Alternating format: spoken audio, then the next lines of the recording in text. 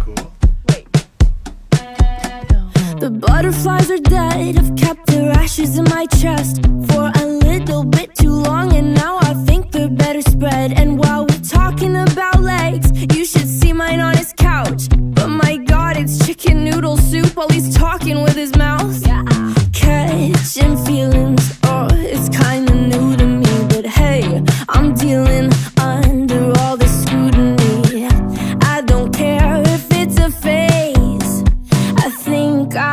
like me more these days. Yeah.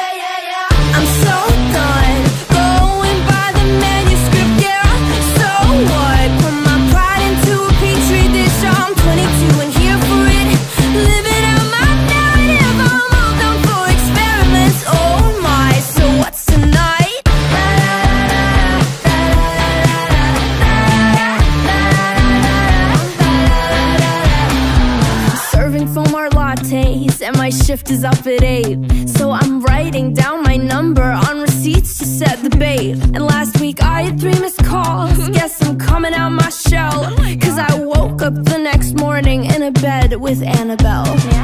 Catching feelings, oh, it's so uncomfortable.